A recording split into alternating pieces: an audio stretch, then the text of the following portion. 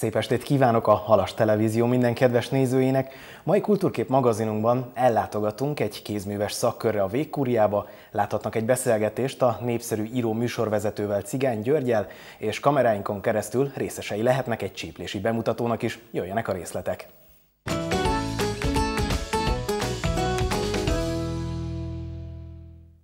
Kezdjünk mindjárt egy könyvajánlóval. Nem is olyan távol Kiskunhalastól Szegeden játszódik az a történet, melyet a Taligás című könyvben olvashatnak az érdeklődők. Ez a kötet az egyik kedvence mai lapozgatónk főszereplőjének.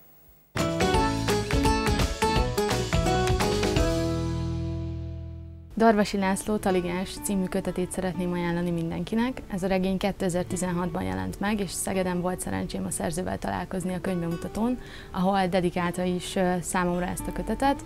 A kötet alapvetően Taligásról, tehát a címadó szereplőről szól, aki a Taligájával járja Európát a 18. század elején, könyveket árul, verseket szaval, a műben rengeteg intertextuális elem is megtalálható, Taligás 1728-ban kap egy feladatot, egy süketnéma fiút kell elhozni a Szegedre.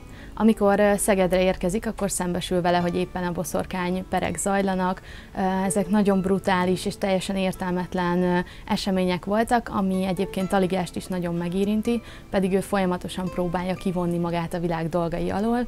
Azonban, amikor szembesül ezzel a tényel, akkor úgy dönt, hogy két fiatalt megpróbál megmenteni a mágiahaláltól, és a regény második része gyakorlatilag arról szól, ahogyan ő ezt megpróbálja véghez vinni. Nagyon érdekes, hogy regény viszont versfolyamnak is tekinthetjük, mivel olyan mondatokból áll, amik nagyon sűrűek, tömörek, viszont nagyon lirikusak, amit valószínűleg az eredményezett, hogy a szerző egy Barbara Strozzi dalt hallgatva írta meg a regényét. Ő egyébként egy 18. századi női zeneszerző volt. Nagyon szeretném ajánlani ezt a kötetet mindenkinek, aki szereti a rövid, tömör, sűrű mondatokat, viszont szereti a lirikusságot, mivel hogy ezt a nagyon kemény szövegeket ilyen mondatokkal töri meg, hogy én pedig szorongok, mint a falevél, ha az ég ablakán át belehel az ősz.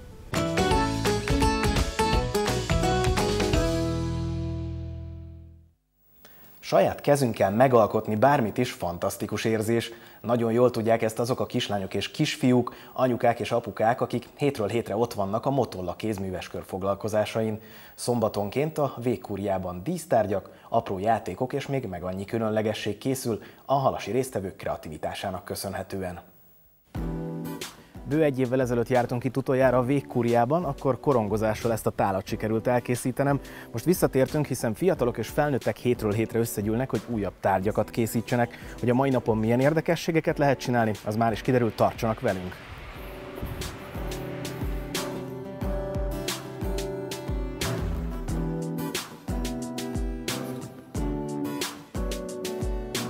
Hosszabb, rövidebb szünetek után, meg egy nyári fazekas tábor után, most ö, szeptember vége után negyedik alkalommal vagyunk, Teljesen kezdők számára nyitottuk meg újból a műhely, de nem csak kezdők vannak, nyilvánvalóan látszik, már haladók is. Ö, apró tárgyakkal kezdtük. Vannak teljesen profik már, a cél az, hogy jövő ősszel már nagyjából önállóan tudjanak korongozni. Még nem is tökéletes tárgyat, de, de olyat, ami már mindennapi használatra alkalmas, illetve ha ide kerül majd a fazekas kemence végkúriába, akkor az égetés meg a mázazás folyamatát is már jó lenne, ha mindenki maga csinálná.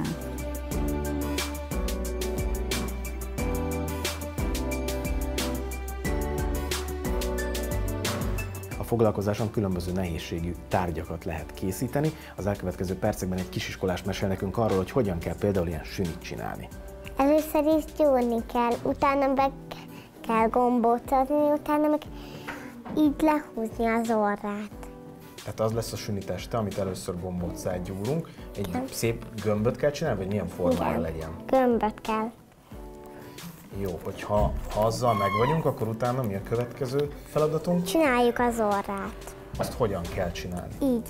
Lehúzzuk a kezünket így. Úgy már meg is lesz az orra. Mit kell csinálnunk a kezünkkel, hogy legyenek tüskéi? Így felhúzni őket. A kezünket fel kell húzni. Hozzá, hogy legyenek tüskéi. És meg kell tekerni a végét, vagy mit csinálsz vele? Vagy csak simán fel kell húzni? Csak simán fel kell húzni. Hány tüskéje lesz most ennek a sűnnek? Hát sok. Utána meg így meghúzzuk a farkát, úgy, ahogy a orrát is. Jó. Az a baj, hogy a tédnek sokkal jobban süni alakja van, mint az enyémnek, de nem baj. Igen, hogyan megyünk Utána. tovább? Csináljuk a szemét. Azt külön rakjuk rá. Igen.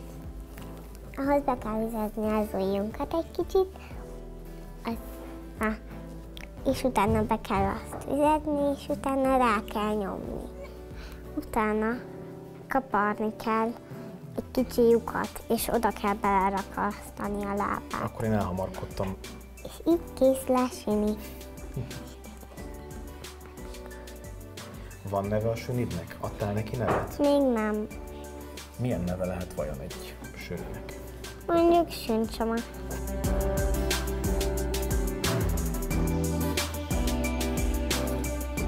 Mi sem mutatja jobban a foglalkozás sikerét, hogy nem csak a gyermekeket lehet asztalhoz ültetni, most meghallgatjuk egy felnőtt véleményét, hogy miért is szeret ide járni. Ó, múlt héten korongoztunk a Gabival, és akkor én egy ilyen szívecske alakú tányért vagy tárolót készítettem, és akkor lefestem kék, lefestettem kékre, és most majd fehér pöttyöket szeretnék valahogy rávarázsolni. De én abszolút kezdő vagyok ebben. A lányom csinált hasonlót tavaly, de az kisebb volt egy ilyen kicsi szívecskét, és nagyon tetszett. És akkor, amikor mondta a hogy mi is kipróbálhatjuk felnőttek, akkor gondoltam, hogy kipróbálom. De nehezebb, mint aminek látszódik.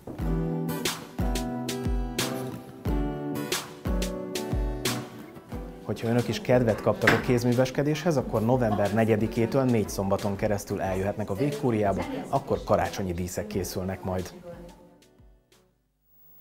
Megszenvedtek a napi betevőért. Kemény fizikai munka volt egykoron a betakarítás végén a cséplés, tucatnyi ember kellett ahhoz, hogy a kalászokból kihújjanak a szemek.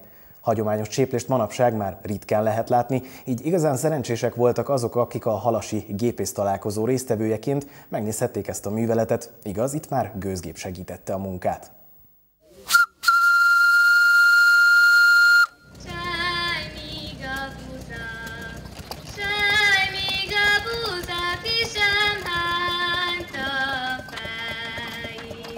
Igazi ritkaságot, egy korabeli cséplést láthattak, akik ellátogattak a Kiskunhalasi stabil motorok és mezőgazdasági gépek találkozójára. Láthattak működés közben egy cséplőgépet, melyel déd és nagyszüleink még dolgoztak a betakarítások végén. Az életet jelentő gabona cséplése igen kemény feladat volt, a gépesítés sokat könnyített ezen.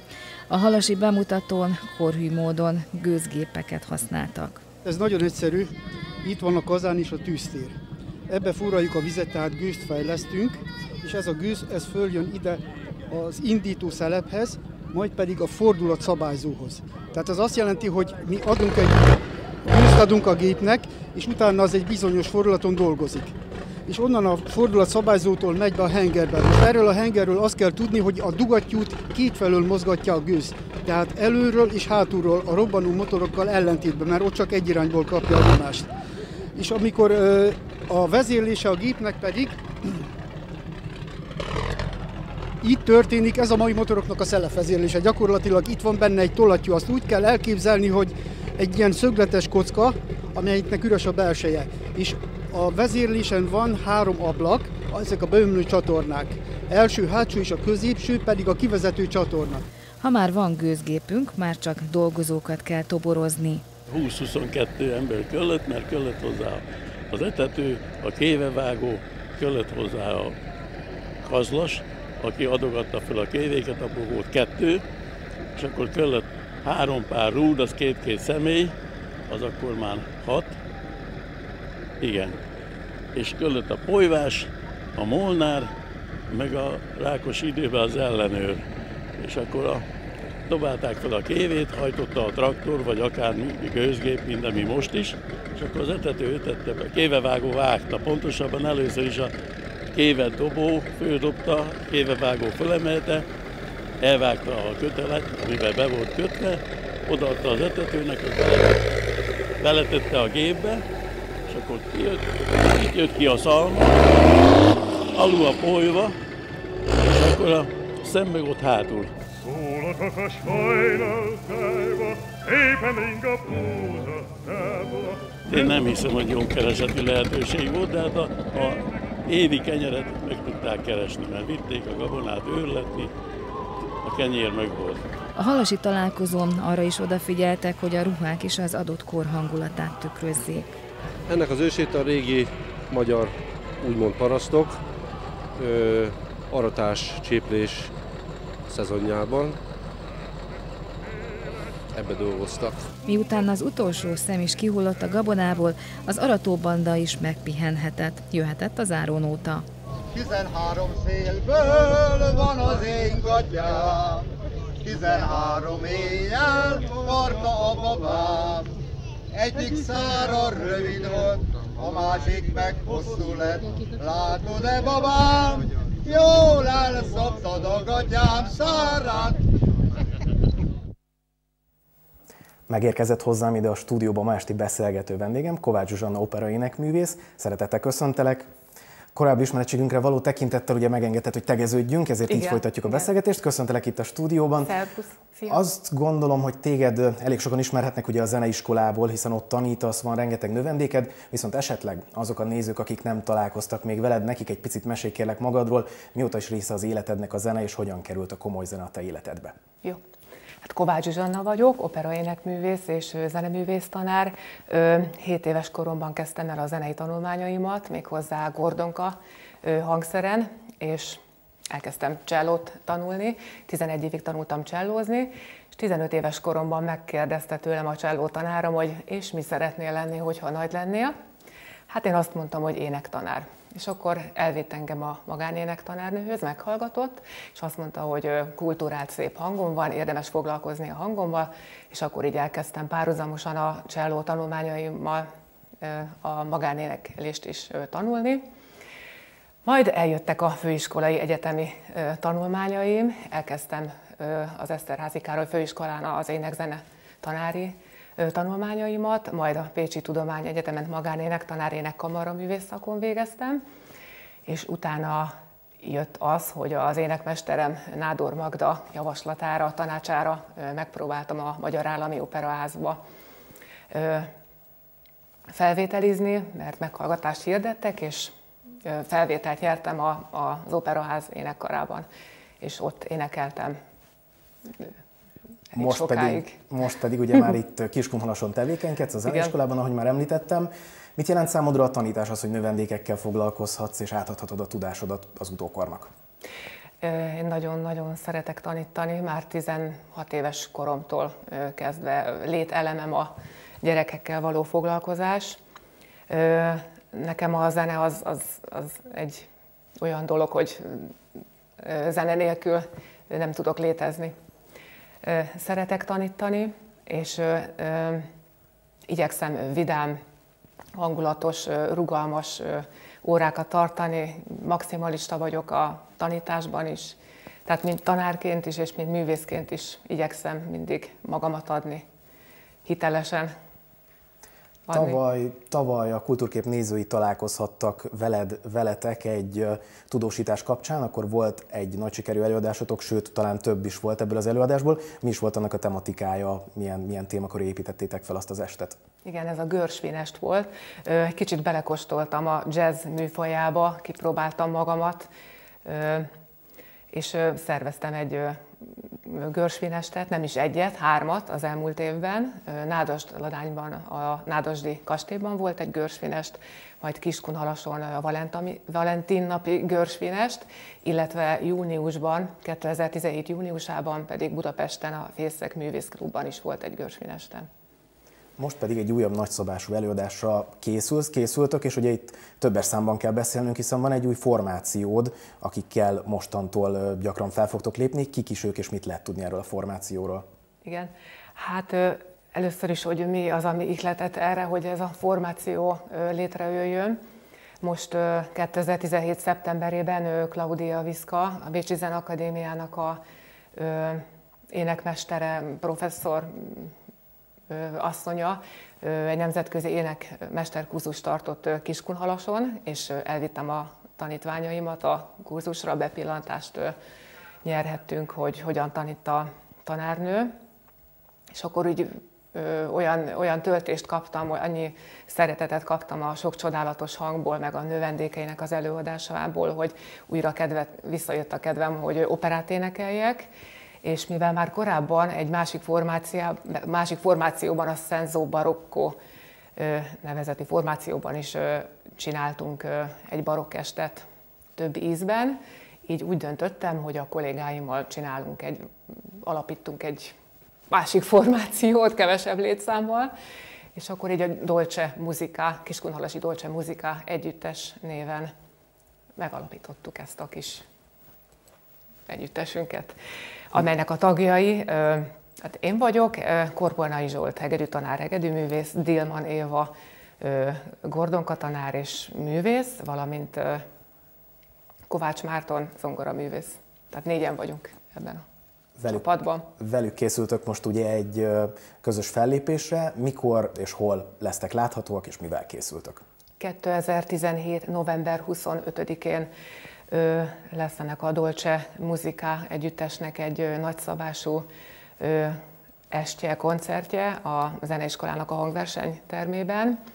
Egy, nagyon-nagyon színes repertoárt állítottunk össze, kezdve a barokk korszaktól egészen a 20. századig, és ö, hát jó magam, én opera, áriakat, opera áriákat fogok énekelni, a kollégáim pedig kísérnek a, az együttessel. Akkor lesznek hegedű duók, kvintett, cselló szóló, zongora szóló, tehát nagyon színes műsorra számíthatnak a kedves kiskunhalasi zenei érdeklődők, vagy zene szeretők. Jó ütemben haladnak a próbák? Milyen fázisban tartotok? Hát még az elején, még ott tartunk, hogy még a, ugye a repertoár összeállt, és majd ugye el kell kezdenünk egy, egy, egy kemény próba tervet összeállítani. Mi alapján válogattátok össze a, a műveket? Mindenki hozhatott egy-egy kedvencet, vagy pedig te voltál a döntéshozó, és inkább te javasoltál? Ö, hát ö, először is, ö, tehát ö, igen, én is javasoltam, illetve a kollégáimat is megkérdeztem, hogy mit szeretnének játszani, és akkor így állítottunk össze egy színes repertoárt. Köszönöm szépen a beszélgetést. Annyit árulj még el kérlek, hogy az adás végén milyen művet fogtok játszani, mit láthat és hallhat a közönség? Georg Friedrich Händel Julius Caesar, Julius Caesar című operából Cornélia áriáját fogom énekelni. Köszönöm szépen, ezt láthatják majd hamarosan a kedves televíziónézők. Most viszont egy egészen más témával folytatjuk a műsort. Erkel Ferenc, Liszt Ferenc és József Attila díjas író, költő, újságíró, szerkesztő, zenei rendező, műsorvezető és érdemes művész. Ő nem más, mint Cigány György, akit a legtöbben valószínűleg a Kossuth Rádióban közel 40 évig futott zenei vetélkedőből, a Kinyermából ismernek. Cigány György a Pásztortűz Egyesület meghívására nemrég Kiskunhalason járt, kettős könyvbemutatót tartott feleségével, Simon Erikával, aki interjúköteteket készít.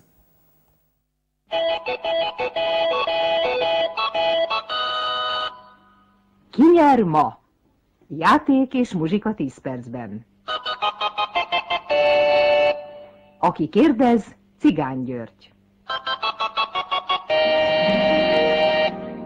Aki válaszol, most a válaszokat is Cigány György adta, hajdanán generációk hallgatták, nézték műsorait, a legenda nemrég halasra látogatott, nem ismeretlen számára a város, hiszen többször járt már itt műsorvezetőként, és kedves emlékei vannak azokról az időkről. Kiskunhallason többször jártunk, valószínűleg kinyermával több alkalommal is, de televíziós korszakomban is volt egy olyan sorozatunk, hogy Zene Tájváros, és hát egy Kiskunhallasi sorra került.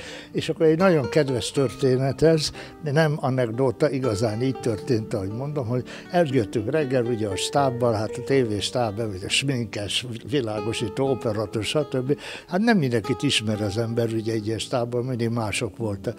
És hát látom, hogy roppant csinos fiatal hölgy, nem mondom, milyen sminkesünk se volt, még milyen csinos. Mondom, hát akkor hol csináljuk? Azt mondja, nem megyünk föl. Mondom, hova mennénk föl, mert ott volt. Azt mondja, hát a kórusra. És akkor ez a gyanús szemben, miért kéne nekem a kórusra sminkelni? És akkor eszembe jutott, hogy megbeszéltük, hogy egy énekesnő lesz, akit én kísérek orgonán. Hát Hát akkor aztán bemutatkozott, kiderült, mondta, hogy ilyen csodálatos, szép fiatal lány volt, azt mondja, hogy ő Miklós Erika, és ő fog énekelni. Hát ez volt Miklós Erikának az első tévé szereplése itt, és hát nagyon boldog vagyok, hogy elmondhatom, hogy őt kísértem akkor organán, és már akkor is nagyon szépen énekelt. Cigány György most viszont könyvet hozott, hiszen a zene mellett az írás, az irodalom is kiemelt helyen van az életében. Ez a kötet már 35.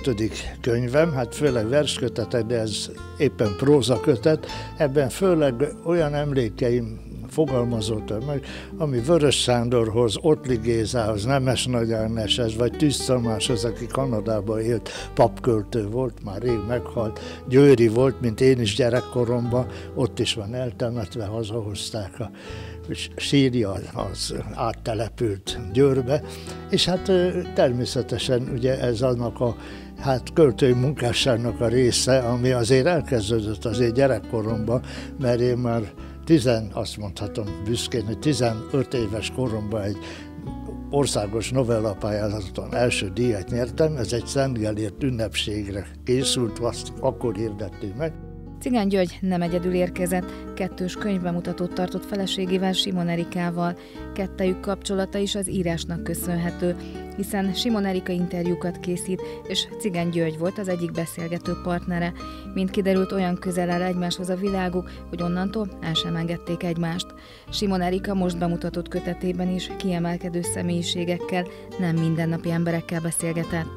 Ez egy ikerinterjú kötet, az a cím, hogy Lépcsők az égbe, és ahogy az alcíme is mutatja, Iker interjú, két személlyel beszélgettem, az egyik dr. Hardi Rihár, Rihárd szemorvos, a másikuk pedig Érdi Tamás zongoraművész aki csecsemőkorában veszítette el a látását, és hát teljes életet él, a félvilágon ismerik, és New Yorktól Kolozsvárig számtalan koncertet adott, és jelenleg is járja a világot.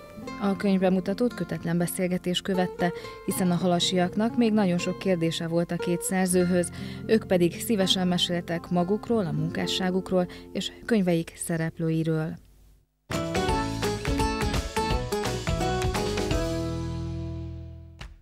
A két legszínesebb és leghidegebb évszak szokásairól lesznek előadások október 13-án pénteken 17 órától a Kiskunhalasi Városi Könyvtárban. A Pásztortűz Egyesület szervezésében szegedi néprajzos doktoranduszok beszélnek majd az őszi-téli magyar néphagyományokról. Október 23-án Kiskunhalas is az 1956-os forradalom és szabadságharc eseményeire emlékszik majd. Délelőtt 10 órakor az ország zászlónál kezdődik az eseménysor a forradalmi lobogó felvonásával.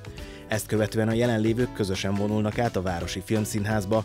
Az ünnepi műsor után virágok, mécsesek elhelyezésére lesz lehetőség a kopjafánál, végül Nagy Szeder István sírjának megkoszorúzásával zárul a nap. Indul az őszi színházi évad városunkban, Október 24-én 19 órától Nézőművészeti Főiskola című darabjukat mutatják be a Városi Filmszínházban a Centrál Színház tagjai.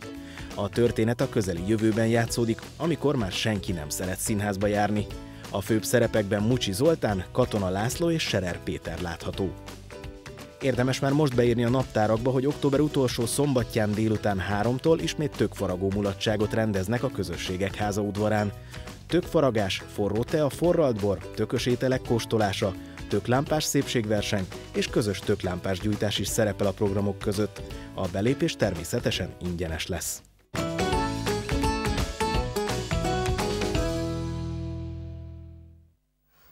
Ez volt már a Kultúrkép magazin. Műsorunk zárásaként Kovács Zsuzsanna és zenésztársai előadásában hallgathatnak most meg egy különleges dalt. Egy hét múlva ugyanekkor Fehér Erika számít megtisztelő figyelmükre. Még egyszer köszönöm megtisztelő figyelmüket, viszont látásra kellemes televíziózást kívánok!